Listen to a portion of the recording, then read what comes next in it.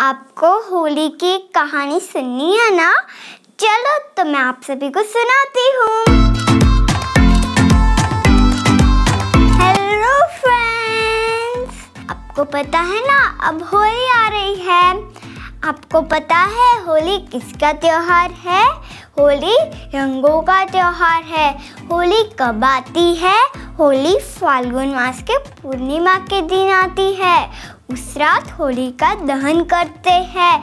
अगली सुबह सब लोग धुलेटी का त्योहार मनाते हैं। आपको होली की कहानी सुननी है ना? चलो तो मैं आप सभी को सुनाती हूँ। एक राजा था, उसका नाम था हिरण्यकश्यपु। वो एक राक्षस था और उसका एक बेटा था। उसका नाम था प्रहलाद। तो प्रहलाद भगवान की पूजा करता। और हिरण्यकश्यपु को ये पसंद नहीं था।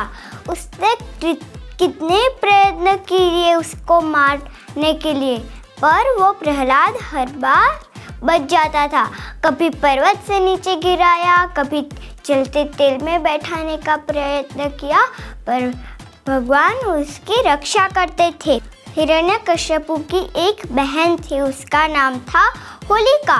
तो उन दोनों ने एक एक उपाय सोचा कि यह है मेरे पास से कपड़ा, वो इसमें मैं बच जाऊँगी और प्रहलाद मर जाएगा।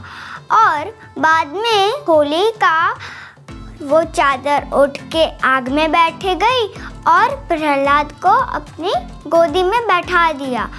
बाद में भगवान ने ऐसा पवन चलाया कि वो वस्त्र होलिका से उतर के प्रहलाद पे आ गया और होलिका जल गई और प्रहलाद बच गया। इसका मतलब हुआ, बुराई पे अच्छाई की जीत होती है। बाय बाय अब हम मिलेंगे नेक्स्ट वीडियो में।